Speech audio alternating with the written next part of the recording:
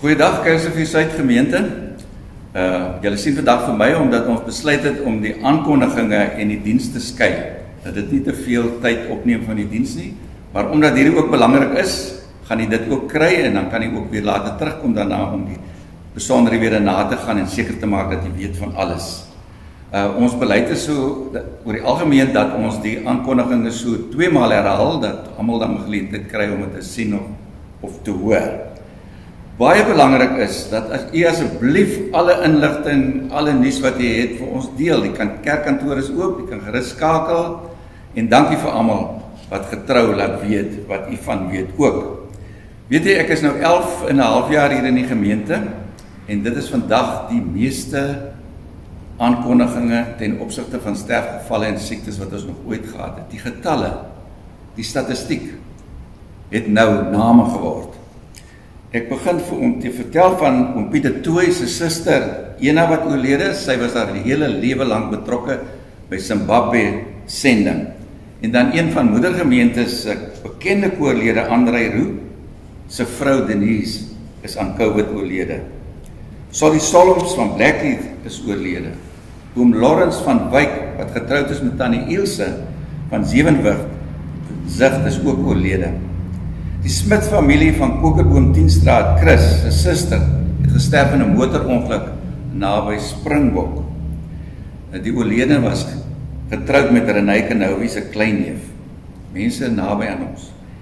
Lenny Smit van Kreerstraat 9 is oorlede op die 18de Desember. Melvery, hun se familielid Jorinde Hout is oorlede. Die Smit familie van Visserstraat se pa is oorlede. Die ma is in die hospitaal ook donderdag oorlede. Erika Jansen van Rensburg se ma is die 27ste oorlede, sy was 87 jaar oud. Alta Bosman se neef, die veearts op Ceres, is aan COVID oorlede. Bonita huis, Bonita en Petershuis se pa Jan Leroux is aan COVID oorlede. En haar broer Janie is ook baie siek.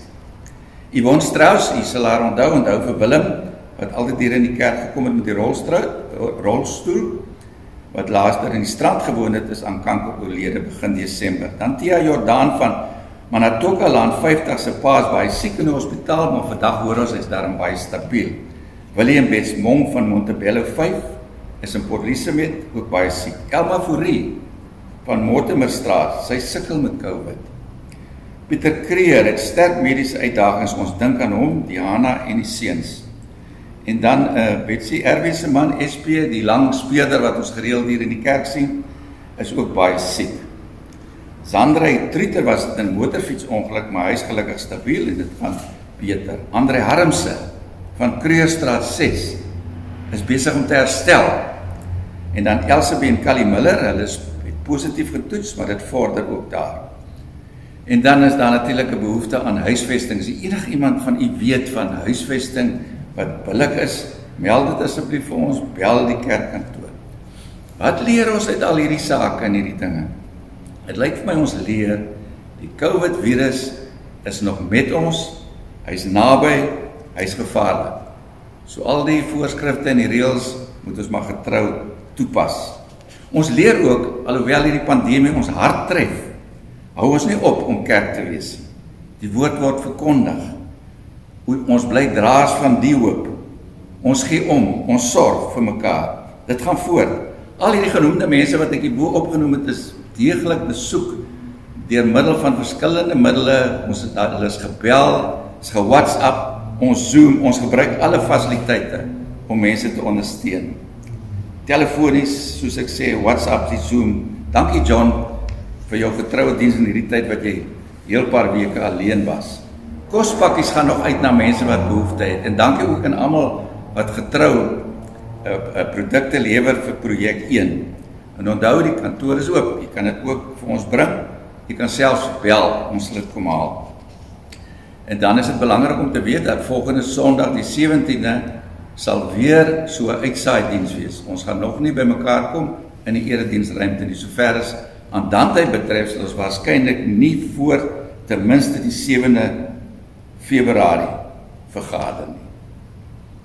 Nuwe jaar programme is beskikbaar. U kan dit by kantoor kry of u kan ook sommer net uh, by die kiosk aankom. Daagliks is uh Lida die koster is sy aan diens, sy kan vir u ook gee. Ek wil graag hê ons met 'n met 'n gebed afsluit.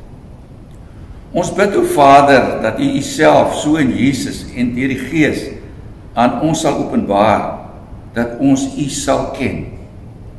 Dat ons U liefde sal leer ken, liefde wat ons verstand te bowe gaan. En mag ons hele lewe oorspoel word deur U teenwoordigheid sodat elke stukkie van ons lewe deur U teenwoordigheid gevorm en omvorm sal word totdat Christus ook daagliks in ons gestalte kry. Ons bid o Vader dat U onsself ook aan ons sal openbaar sodat ons ons eie emosionele onvolwassenheid, ons destruktiewe denke en gewoontes, ons verborgde motiewe, ons diepste prioriteite, ons selfsug kan raak sien en dat U ons kan heelmaak en vrymaak. Ons bid o Vader dat U ons met nuwe oë na ons medemense laat kyk, na die mensheid in geheel met respek, sonder arrogante wetewederige veroordeling en met deernis. Ons bid soos Assisi van ouds, Here, maak my instrument van U vrede. Waar daar haat is, laat my liefde bring.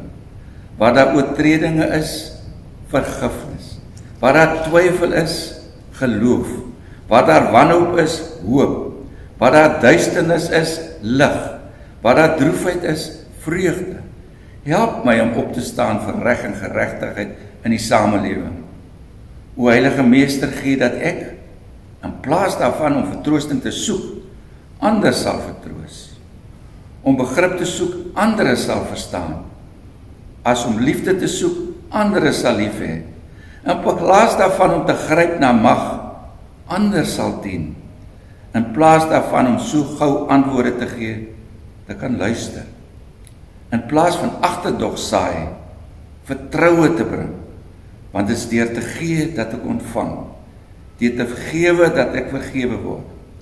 En dit is deur te sterwe in U dat ek lewe. Amen. Dankie gemeente, vrede en seën vir u.